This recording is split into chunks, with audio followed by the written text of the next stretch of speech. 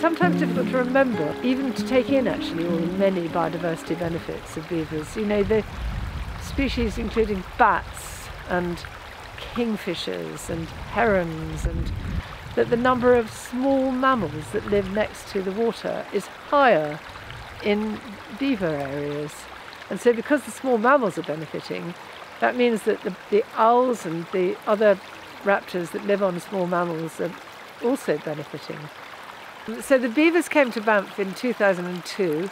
It's changed the hydrology. Um, the water's all held. We now have so many pools where before we just had a ditch which in summer was large, was almost dry very often. We now have all these pools and each of these pools is obviously full of wildlife. I mean, there are all these little things like caddisfly larvae, you know, which are aquatic, the aquatic um, larval stage of so many invertebrates. And these are food for little fishes, and the little fishes in turn are food for the heron, and so on. And actually, you also get this com complexification, if that's a word, of the surrounding land. So you end up with these dead trees and felled trees and horizontal trees and broken bits of tree and makes a fantastic contribution to biodiversity. It's habitat for woodpeckers, potentially for owls, and a huge number of fungi and mosses and all kinds of things flourish, lichen and so on, insects. So it you know, may look a bit destructive to the untutored eye, this is really rather a wonderful thing that beavers do for us.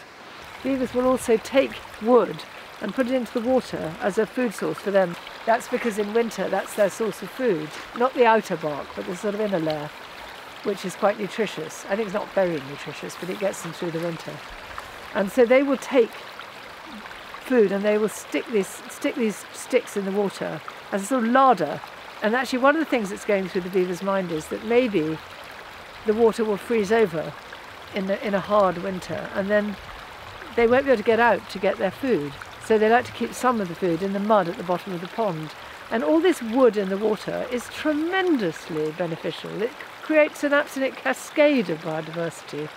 And actually, amongst the many species that it benefits, it benefits salmon. Not, not here, this isn't a salmon river, it's a trout river, but not a salmon river. The, the coarse woody debris in the water is actually a vital component for um, creating habitat for the parr of salmonids.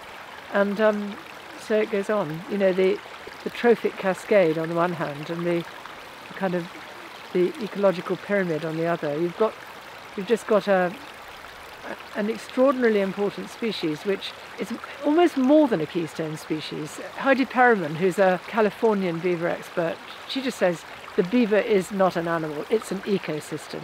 It's an ecosystem in itself.